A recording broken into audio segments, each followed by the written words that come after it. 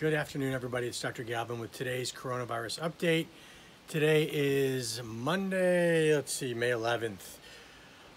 Brief update tonight. I'm actually working in the emergency department tonight, so I will be back in the morning with my normal sort of post shift summary. I'll tell you what the lay of the land is in the emergency department, what we're seeing, what we're not seeing.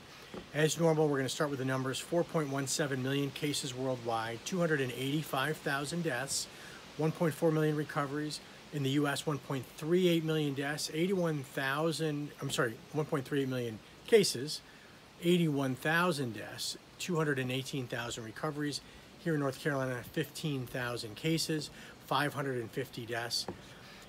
Our running average of new cases in North Carolina actually hit a new high this week of 443 per day, which is the highest it's been. And we're also backing off on restrictions now, so we'll have to watch those numbers very carefully interestingly, if you've been looking at the death numbers, there was a, I think four or five days ago, we were seeing 2,700 deaths a day. And over the last couple days in the US, those numbers have dropped down to 1,500. And to today, I think it was down to only 800 deaths. Now, I don't know if that's a vagary of the numbers. If you look backwards in time, we've seen up and down spikes of, of clusters of death. But you know, maybe that's a positive sign if, if we're dropping, because it was looking we were on the on track for 3,000 plus deaths a day. It doesn't look like it's going that direction, but the month unfortunately is young. I want to talk a little bit about antibody testing. We've talked about the testing that was done in California in the Santa Clara Valley, where they showed about 4.4% of the population was positive for uh, antibodies against the virus. New York City, they've had numbers as high as 25%. Wake Forest University published some very preliminary numbers with a lot of caveats the other day about North Carolina, and it looks like our rate right now is 2.2%. So 2.2% of, the population sample they did had positive antibodies. So remember, to achieve herd immunity, we need 60 to 70% uh, of the people have been exposed. So you can see, at least here locally in North Carolina, it seems we're a far distance from that. Now, I also want to um, put out a question to everybody because one of you know we've posted some things about uh, some controversies on social media, the Plandemic video, and other things, and I've gotten you know a lot of uh, feedback on that. Most of it is sort of unwelcome and unintelligible, but a, lot of people have, have spoken out about it. And one of the things I've been getting repeatedly is people telling me, I don't believe that there's an outbreak because I don't know anybody that has the virus.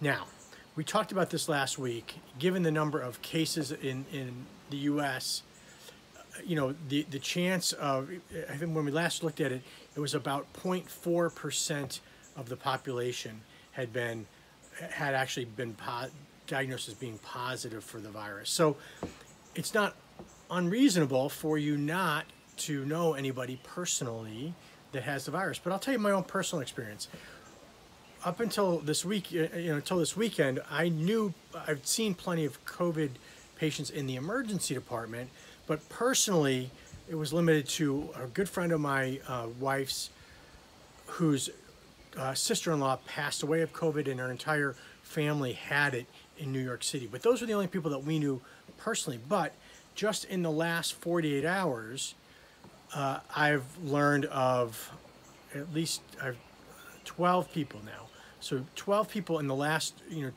48 hours, uh, I've learned of people that I know have either have the virus now or have recovered from it.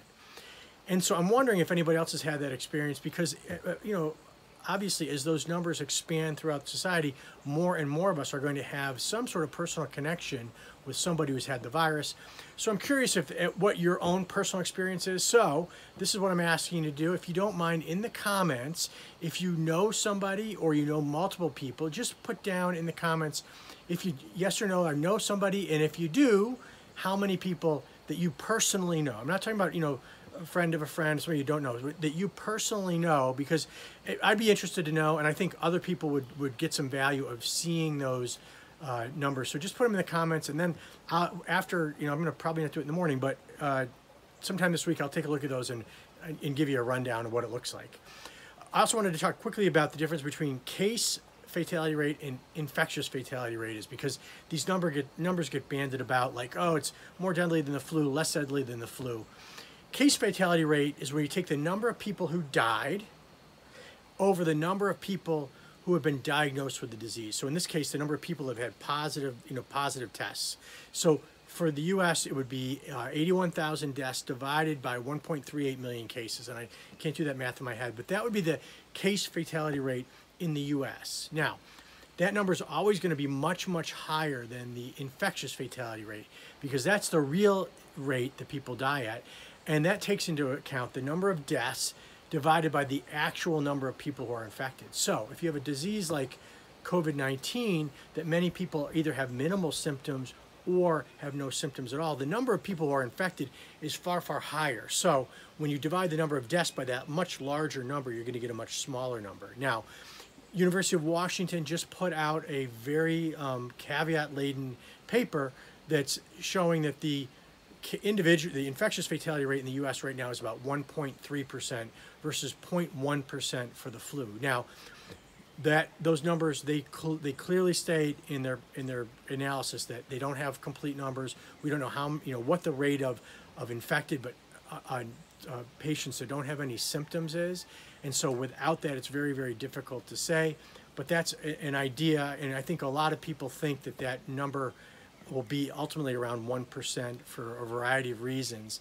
And so you, you know think about the population of the country, one percent. You know can see that there's potentially a lot of people that could die, and that's why we need to take this serious. And unfortunately, as I've learned, there's a lot of people that just flat out either don't believe the virus exists, they don't believe any of the numbers, and I think that we need to sort of you know educate people. And again, as I keep saying, do not trust me. Do your own research. The data is out there. There are plenty of independent sources. I know you're gonna. Some of you are gonna say, no matter what source I name, it's it's owned by the government, by Bill Gates, by whomever. But you know there are good people working in these organizations like Johns Hopkins and University of Washington and Harvard and all these other places that are doing good work that aren't being any in, aren't being influenced by some you know some other people. So do your own research, look into it. But I'm going to stop there. I will be working in the emergency department tonight, so I'll, as I typically do, I will do a post depending on how tired I am, first thing tomorrow morning, kind of telling you what the lay of the land is in the emergency department. And then I don't think I work for about a week, and then I work a bunch. Um, I think I work two two weekends in a row, and so there'll be more of those updates going forward.